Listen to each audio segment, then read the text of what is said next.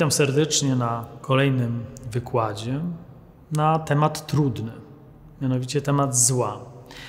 Jak ostatnio mówiłem w tym pierwszym naszym, naszej prezentacji, o złu nie wolno mówić tylko z ograniczeniem do samego zła. Zło by bardzo chciało być głównym bohaterem. Zło by bardzo chciało być tym, który się wybija. Bardzo by chciało błyszczeć na scenie. Natomiast zło bez dobra nie istnieje, tylko że dobro się gdzieś kryje, dobro gdzieś się chowa. Dobro potrzebuje tego, żeby być wydobyte, żeby nadać dobru właściwą miarę. I dlatego też święty Tomasz z Akwinu, kiedy w ogóle zastanawia się na temat zła, to więcej zastanawia się na temat dobra i piękna niż nad samym złem. Kiedy mówi o złu, to po, pojawia się ono i pokazuje jak pewne epizody w różnych traktatach. W żaden sposób tutaj nie umniejsza znaczenia w dziejach, ale równocześnie jasno pokazuje, jaka jest, jakie jest miejsce zła. Dlatego też Tomaszowi nie brakuje jednej rzeczy, która bardzo często nam brakuje, a mianowicie spokój. Spokój i optymizm nawet w spojrzeniu na to, czym jest zło, jak się w ogóle do zła podchodzić. Y, w tych wykładach ja bym chciał też, idąc, właśnie przedstawiając tę książkę, którą, którą ostatnio wydałem, mianowicie Piękny Bóg, Piękny Człowiek, pokazać, jak można mówić o złu, równocześnie nie traktując zła jako głównego bohatera. Jak mówić o złu, żeby wydobyć tak naprawdę dobro i piękno, ponieważ piękno będzie tą kategorią, którą wprowadzimy jako to, główne tło do mówienia o złu. W tym całym wykładzie, tutaj chciałbym zwrócić uwagę, często będę powracał do y, takiej zasady, która była w średniowieczu i średniowieczny każdy kopista, który skrzętnie sobie robił notatki w czasie wykładu, robił sobie też tak zwane manikula. Manikula po łacinie to jest taka pomocna drączka, taki paluszek, który człowiek sobie, takim manikulum, stawiał przy tezie i przy zdaniu, które warto było zobaczyć, zaznaczyć i zapamiętać. I tak naprawdę ja bym Wam chciał na kilka rzeczy zwrócić uwagę, które warto sobie zapamiętać, kiedy będziecie sami, a mam nadzieję, że będziecie sami też sobie studiować i przechodzić tą opowieść o pięknie i złu, którą właśnie przedstawiłem w tej książce. I ten manikulum jako pierwsze trzeba postawić przy metodzie. Jaką metodę zastosować? Jak pisać o złu, żeby to zło nie było jedyne i dominujące? I ja tutaj chciałbym zaproponować dwie metody. Pierwsza metoda, tak ładnie nazwę, to jest metoda historiograficzna. Ja sam z wykształcenia też jestem historykiem mediewistą i historykiem też, który bardzo jest blisko tak zwanej szkole Annal, to jest taka szkoła francuskich historyków. Między innymi z tych wielkich historyków jest Jacques Lugoff, znany doskonale w Polsce, autor wspaniałych książek choćby o Czyśćcu czy o Ludwiku IX, ale to jest cała szkoła, która zastosowała nową metodę do historii, w ogóle do uprawiania historii. Ja tą metodę, którą historycy stosują, postanowiłem zastosować w traktacie o pięknie i złu, w tym mówieniu o tym, o złu i pięknie. A mianowicie, czym się charakteryzuje ta metoda historiograficzna? Pierwsza rzecz, myślę, że jak poznacie tą metodę, ale też ci wszyscy, którzy czytali książki Jacques'a Lugoffa, ale też wielu innych wybitnych tych francuskich historyków, u nas w Polsce takim przedstawicielem jest zmarły niedawno profesor Jerzy Kłoczowski, to to, co jest charakterystyczną pierwszą rzeczą, to jest kwestia takiego długiego trwania, longue durée. O co chodzi tutaj? Mianowicie, żeby analizować daną rzecz w całym bardzo szerokim kontekście, najlepiej najszerszym kontekście, jakim się da. Od samego początku, od genezy, aż do samego końca, nawet to, co przekracza. Dlatego też na przykład niektórzy historycy będą zajmując się jakimiś kwestiami związanymi ze średniowieczem, będą przyglądać się temu przedmiotowi badań aż do XXI wieku, ponieważ dopiero z naszej perspektywy dopiero widać pewne znaczenie jakichś rzeczy, tego co się wydarzyło. Choćby podam wam jako przykład lustro. Lustro, które pojawia się w XIV wieku i staje się powszechnie używane, ono z czasem widzimy, jak ono miało ogromne znaczenie, choćby dlatego, że ludzie zaczęli odkrywać siebie. Po raz pierwszy zobaczyli swoją twarz. Po raz pierwszy zobaczyli i zachwycili się. I to widać, jak ogromnie teraz wielu historyków będzie zwracał uwagę na znaczenie lustra w dziejach, ale to widzimy dopiero z perspektywy. I tak samo to longue durée, to długie trwanie, należy zastosować do problemu zła. To, co jest problemem naszym w mówieniu o złu, i to jest jako słabość też wielu traktatów o złu, to jest mianowicie to, że zaczynamy od zła jako zła. Tak jakby zło miało swoją, takie zostało wręcz stworzone przez Boga.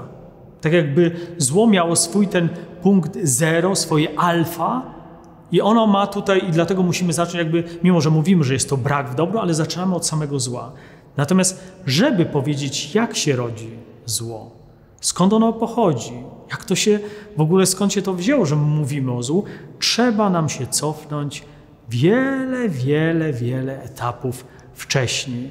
Trzeba najpierw przyglądać się historii dobra i piękna, na którym to zło się w pewnym momencie pojawiło i zaczęło żerować. Zaczęło prowadzić swój pasożytniczy byt. Ale również, żeby pokazać, bo mogłoby się wydać, no dobrze, aha, czyli przedstawimy genezę. To jest tak jak w dobrej biografii.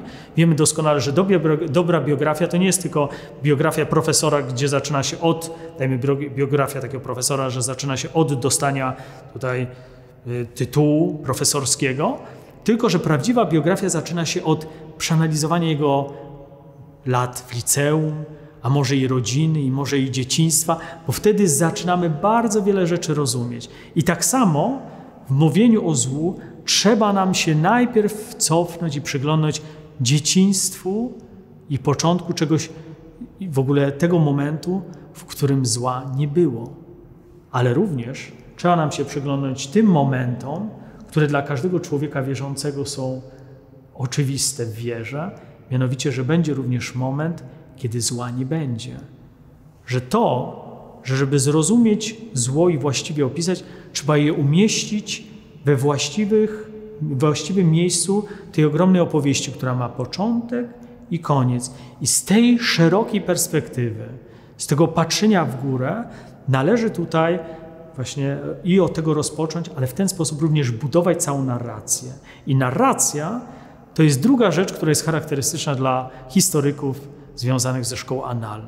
Mianowicie narracja jest niezbędna. Opowieść jest częścią historii, wręcz historia jest opowieścią, którą się snuje. Dlatego też narracja, ona musi być i piękna, i powinna też uwzględniać czytelnika drugiego człowieka. Bardzo często, kiedy tworzymy pewne rzeczy, e, piszemy nawet, my nie myślimy o drugim człowieku, nie myślimy o czytelniku. Myślimy tak tylko przez swój własny pryzmat, żeby siebie wyrazić, czy też wypluć coś z siebie, czy wyrzucić siebie. Natomiast nie myślimy o tym, że po drugiej stronie jest człowiek, jest czytelnik, który również jest otwarty na narrację, że cała nasza natura jest naturą narracyjną że my nawzajem siebie słuchamy i nawzajem budujemy. I dlatego też historyk ze szkoły Anal powie, trzeba opisać to narracyjnie. Trzeba snuć opowieść, ale również używać właściwego języka. I dlatego też książki tych historyków francuskich, one są piękne. Nawet nieprofesjonalny historyk jest w stanie przeczytać i się zachwycić. Jakaż to jest piękna opowieść, narracja. Ale kolejna rzecz, cecha tych historyków, to jest również powrót do źródeł. I to jest ważna rzecz, mianowicie wracamy do źródeł i biorąc pod uwagę, że traktujemy całościowo i narracyjnie, te źródła również są tutaj podstawą całości naszej opowieści. I dlatego też, kiedy ja tej książce wybrałem sobie świętego Tomasza z Akwinu, to postanowiłem, że również skupimy się na tych tekstach świętego Tomasza, które z jednej strony są te najbardziej znane, a każdy tutaj teolog zna sumę teologiczną, sumę contra gentiles, de veritate, y, komentarz do sentencji, to są takie dzieła, które każdy zna z teologów, filozofów, ale trzeba pamiętać, że święty Tomasz zostawił aż 111 dzieł i zostawił dzieła piękne, zostawił dzieła, które są zachwycające, choćby jego komentarze biblijne komentarze do Księgi Hioba, wspaniały komentarz do Ewangelii Jana, do Ewangelii Mateusza, do listów Pawłowych i na samym końcu, ostatnim dziełem świętego Tomasza jest komentarz do psalmów, w którym pojawia się choćby w 44 w komentarz do 44 psalmu. Pojawia się wspaniały rozdział na temat i w ogóle odpowiedź na pytanie, czy Chrystus jest piękny, czy Bóg jest piękny. Dlatego też postaramy się uwzględnić nie tylko te wielkie, wielkie dzieła, ale również te dzieła, byśmy powiedzieli, pomniejsze. Są jeszcze komentarze, takie małe do małych dzieł, są również kazania, a zatem bierzemy również źródła. A zatem ta metoda historiograficzna do mówienia o złu będzie dotyczyć przede wszystkim tego, że złu przyglądniemy się w całościowym kontekście, narracyjnie, z uwzględnieniem również źródeł tych tomaszowych, ponieważ Tomasz będzie naszym, jak już wspominałem, będzie naszym Wergiliuszem i Beatrycze w jednym, będzie tym, który nas przeprowadzi przez tą całą opowieść. Ale tutaj pojawia się pewien taki problem, który jest zasygnalizowany e, już na samym początku, mianowicie w jaki sposób mówić o złu i zarazem o pięknie. Jak to zrobić? Może stworzyć dwa, dwie książki o złu, a później o pięknie. No bo chyba się nie da tego połączyć. Jak to połączyć? Jak to zrobić? I dlatego też próbując znaleźć odpowiedź na to takie bardzo trudne pytanie, też konstrukcyjne, w ogóle myślowe, takie, takie, takie koncepcyjne, y, wpadłem na pomysł, żeby zastosować metodę tym razem związaną z muzyką, tą sferą muzyczną, a mianowicie metodę średniowieczną, bo musimy zostać w średniowieczu, ale tutaj średniowiecze bardzo nam pomaga, mianowicie metoda kontrapunktu. Metoda takiej melodii dwugłosowej. Ja myślę, że nawet każdy, kto nie miał do końca, nie miał jakiejś styczności z partyturami, z muzyką, z graniem na instrumentach, wie, że, że generalnie można śpiewać jednym głosem, taka monodia, są bardzo piękne y, monodie, że człowiek śpiewa sam, ale można również śpiewać w dwóch głosach, a nawet w wielu głosach. I wam powiem, że święty Tomasz sam dwukrotnie w swoich dziełach wspomniał, że piękny jest jednogłosowy utwór, ale piękniejszy jest głos, kiedy jest wiele głosów ludzkich, jest polifonia. I dlatego też kontrapunkt to jest taka struktura, mianowicie gdzie mamy dwie linie melodyczne, cantus firmus i contrapunctus. Cantus firmus, ten ustalony głos, który jest głównym głosem i do tego jest dopisany niezależny drugi głos, który jest kontrapunktum, jest w opozycji, jest gdzieś obok, on jakby towarzyszy. I dlatego też pomyślałem, żeby zastosować metodę kontrapunktu w opisie właśnie piękna i zła, gdzie tym kontrapunktem będzie zło. Ono się w pewnym momencie pojawi. Ono będzie nawet prowadziło swoją niezależną opowieść, nawet czasami będzie przechodziło bardzo blisko tego głównego głosu, jakim jest piękno i dobro, a w pewnym momencie wręcz nawet ten kontrapunkt przetnie tą linię, kiedy będziemy mówić o tak zwanym złu skandalicznym, czy też pięknie ukrzyżowanym. Mianowicie można mówić, a nawet myślę, że trzeba mówić, jeżeli mówimy o złu, trzeba mówić w sposób polifoniczny. Trzeba pokazać, że ten, ta tajemnica ona bez właściwego tła, ona jest nie do zrozumienia. Nie, da, nie możemy zajmować się złem bez pamiętania o tym, że to dobro i piękno jest dominujące. Ono jest pierwsze, ono jest główne. Nie możemy pozwolić temu, żeby tylko była ta jeden, jeden głos, ta monodia zła. Natomiast można zastosować cantus firmus contra punctus.